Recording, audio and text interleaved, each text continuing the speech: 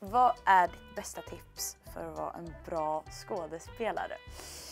Att man går in väldigt mycket i, i karaktären och eh, försöka, försöka och tänka sig att man be, faktiskt befinner sig i den här situationen.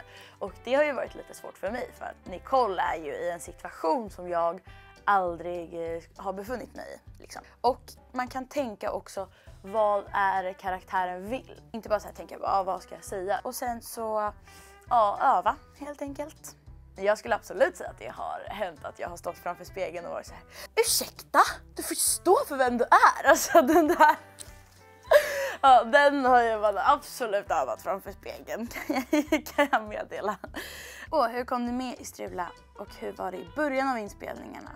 Eh, det gick inte så här fort eh, för mig för att jag castade till en annan roll. Jag castade faktiskt till Justin. det är kanske jättekonstigt alltså, ehm, för er att förstå.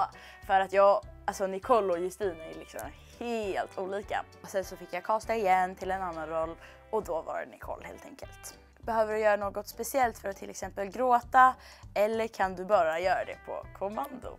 Eh, hmm, jag skulle säga att jag ändå är hyfsat bra på krokodiltårar, eh, vilket har hjälpt liksom. Här är någon som har frågat hur första scenen var. Alltså vänta, jag måste tänka vad var första scenen? Okej, det här är jättesvårt, vänta, jag kommer inte ihåg. Det var... Jo, jag kommer ihåg. Eh, det var faktiskt, eh, jag tror, alltså nu, kan, nu är jag lite osäker, men jag tror att det var när vi skulle vara på sån här eh, escape room.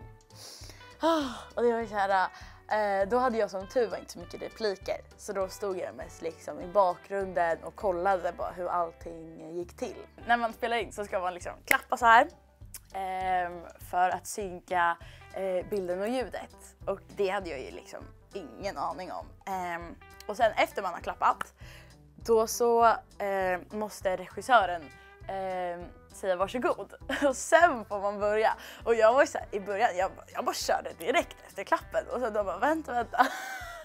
ja, så att, eh, det var mycket nytt att lära sig men nu känner jag att, eh, att jag har koll på det i alla fall. Eh, ja, och jag tror att det var alla frågor vi hade för idag. Tack för att ni kollade. Ni får gärna prenumerera och skriv i kommentarerna nedanför vem ni vill ska sitta här nästa gång. Tack så mycket. Puss puss.